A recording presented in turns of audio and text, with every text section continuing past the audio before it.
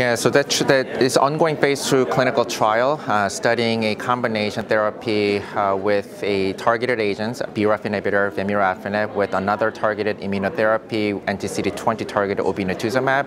Uh, both of these drugs are approved for treatment of uh, other cancers, but not for hairy cell leukemia yet. So we wanted to uh, test this combination in the first line setting. I think that what's really new about this is that, that we're trying to remove the chemotherapy altogether in the treatment algorithm of a hairy cell leukemia and hopefully achieve a deeper response. So these patients will typically be treated with the standard chemotherapy such as cladribine or pentostatin.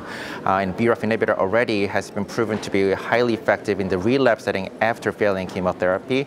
Uh, and such as uh, also the rituximab in combination, the response rate has been higher and then deeper. So we wanted to take that effective combination in the relapse setting to frontline setting to see whether we can hopefully get better result in the first line setting and to spare the chemotherapy altogether for patients with hairy cell leukemia. And uh, we are reporting the result here at this year's ASH, and uh, our interim result about 10 patients getting 100% response rate, which is kind of quite remarkable. So everybody's getting response, and not only that, the response do appear to be very deep. Uh, so we measured the depth of remission by BRAF allele burden, and then uh, nine out of 10 patients have been undetectable. So again, kind of pointing out to the fact the majority of the patients are getting a very deep response, and hopefully we have to see with long-term follow-up in more patients to see whether this will eventually and indeed will translate into durable outcome. But it certainly looks promising. 감사합니다.